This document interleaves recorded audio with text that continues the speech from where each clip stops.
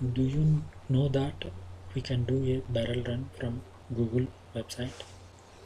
To do that you need to open Google homepage and just type do a barrel roll.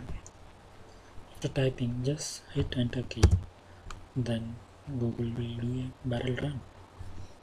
This can be done from Chrome search option also.